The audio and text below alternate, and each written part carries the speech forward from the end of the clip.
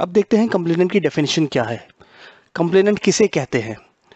Complainant वह व्यक्ति या वह संगठन होता है जो कि कंज्यूमर प्रोटेक्शन एक्ट के अंडर किसी के अगेंस्ट कंप्लेंट फ़ाइल कर सकता है। कंज्यूमर प्रोटेक्शन एक्ट में कंप्लेनेंट को सात कैटेगरीज में डिवाइड किया गया है। पहला है कंज्यूमर यहाँ कंज्यूमर से मतलब है इंडिविजुअल कंज्यूमर जैसे कि आप और मैं। तो एक तो हो गया इंडिविजुअल कंज्यूमर जो कि कंज्यूमर प्रोटेक्शन एक्ट में कंप्लेंट फ़ाइल करके कंप्लेनेंट बन सकता है।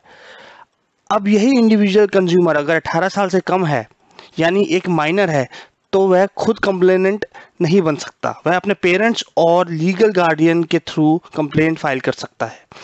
इसलिए पेरेंट्स और लीगल गार्डियन को भी ए माइनर कंज्यूमर को भी कंप्लेनेंट की कैटेगरी में रखा गया है। अब अगर कंज्यूमर की डेथ हो जाती है तो उसके लीगल हेयर्स या लीगल रिप्रेजेंटेटिव्स उसकी जगह पर कंप्लेंट फ़ाइल कर सकते हैं और कंप्लेनेंट बन सकते हैं। अगर एक से ज़्यादा कंज्यूमर्स हैं, जिनका इंटरेस्ट सेम है तो ऐसे सभी कंज्यूमर्स को कंप्लेनेंट माना जाएगा।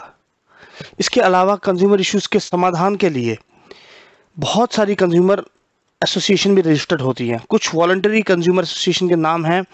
Akhil Bharatiya Grahak Panchayat consumer guidance society of India all India consumer protection organization the consumer eye India united India consumer association Grahak Shakti etcetera तो ऐसी वॉलंटरी कंज्यूमर एसोसिएशन को भी कंप्लेनेंट माना जाता है।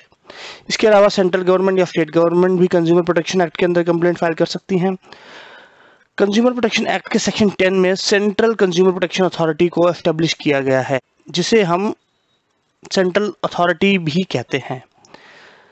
हम इसके बारे में आगे पढ़ेंगे बट सेंट्रल अथॉरिटी को भी कंज्यूमर प्रोटेक्शन एक्ट में कंप्लेनेंट माना गया है। तो ये थी सेवन कैटेगरीज ऑफ़ कंप्लेनेंट अब अगले लेक्चर में देखते हैं कि कंप्लेंट क्या होती है।